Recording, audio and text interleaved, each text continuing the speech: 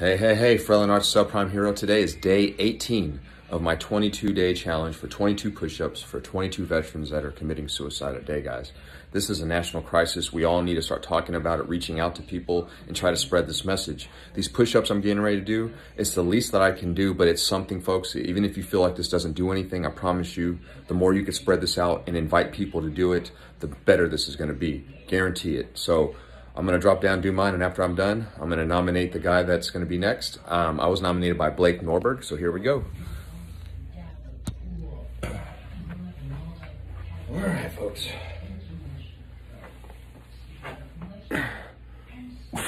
One, two, three, four. Five, six, seven, eight, nine, ten, eleven, twelve.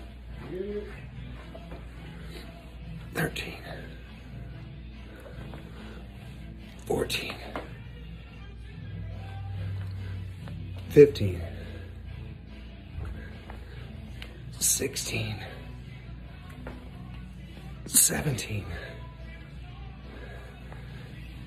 18, 19, 20, 21, 22, and of course, one to grow on.